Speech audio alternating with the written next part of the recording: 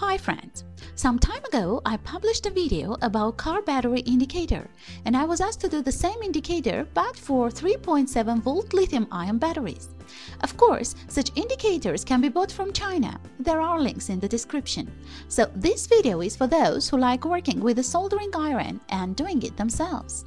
Honestly, this circuit is not much different from the one that was designed for car batteries, but there are some differences. The circuit again is built on the basis of the comparator LM339. How it all works, I explained in the mentioned video. You can learn it if you move to the link in the description. But anyway, I will say a few words about chip operation. It includes four individual comparators in one housing. The comparator has two inputs and one output. If the voltage changes at one of the inputs, this immediately leads to a change in the output state of the comparator. In the case of the LM339 chip, at output either nothing at all or equal to minus of the power supply.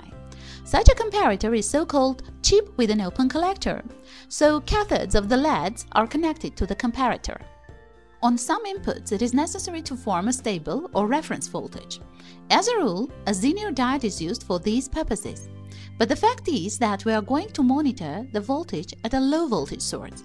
The Zener diode itself must also be low voltage or more precisely, the stabilization voltage should be less than the discharged battery voltage. In the case of conventional lithium-ion batteries, it is about 3 volts. Therefore, it is necessary to find the Zener diode for about 2.5 volt or less. Unfortunately, in my reserves I found only Zener diodes at 3.3 volts.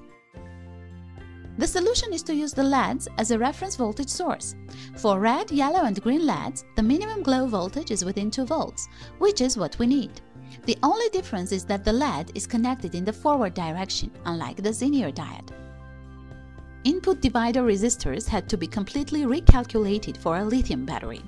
I made a new board which differs from the old version in its compactness. The board, in my opinion, turned out to be quite good. The installation is dense, although it is possible to make it even smaller if you use SMD components. Notice there are two jumpers marked with yellow on the board. The diode VD1 protects the chip in case if the polarity of the connection to the battery is mixed up. As you know, the voltage of a fully charged lithium-ion battery should be around 4.1 to 4.2 volts, so the dividers are selected in a very narrow range, using resistors with a tolerance of only 1%, which guarantees high precision operation of the indicator. We have four LEDs, colors could be any, up to your taste.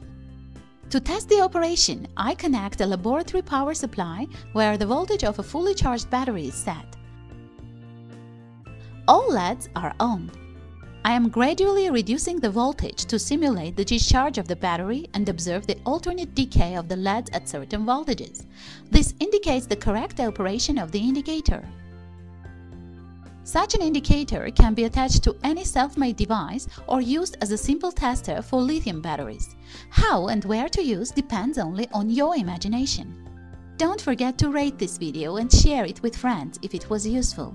You will find all necessary information in the description, including links to buy of such indicators.